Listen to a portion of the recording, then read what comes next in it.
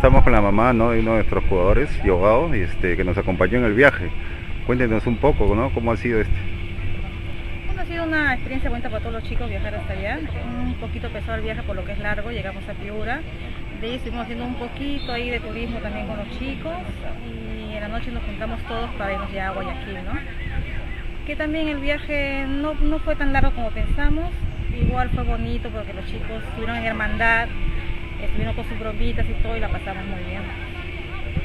Y aquí este, el clima es súper fuerte, el calor es súper fuertísimo.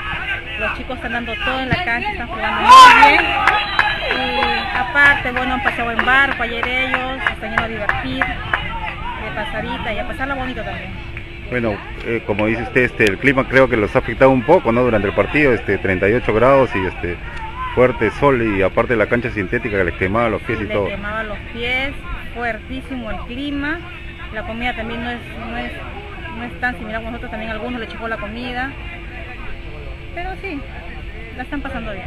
Bueno, jugaron todo, ¿no? Le dieron todo de sí, este, el equipo rival fuerte, parecía un poco mayor, pero de todas maneras se vio un buen espectáculo. Sí, un poco mayor, se veían grandazos, pero los chicos le dieron la guerra hasta el último y jugaron muy bien estos muchachos, muy bien. Bueno, este, ahora este, con las comidas, a ver qué nos puede contar, algo, una anécdota, alguna cosita. Bueno, la comida, ese que nos dieron eh, fue un bolón con huevo frito, con tocino y con una ensalada de palta que a varios le cayó pesadísimo la comida. Sí, pues, A varios le cayó pesado la comida. Pero bueno, tenemos que comer algo de aquí también. claro, pues Y este, después acá no hay mucho que comer porque su comida es muy distinta a la de nosotros. Y la mayoría pues no nos gusta, ¿no? Hay diferencia, ¿no?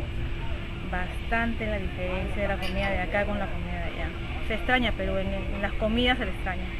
Pero es muy bonito, ¿no? La ciudad de Guayaquil, su malecón Es muy hermoso, bonito, ¿no? El malecón es muy lindo, es muy grande. Los chicos pasaron en barco anoche.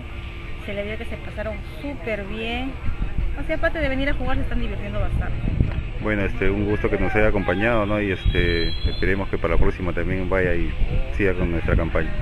A ver, vivir una nueva experiencia. Ya, gracias.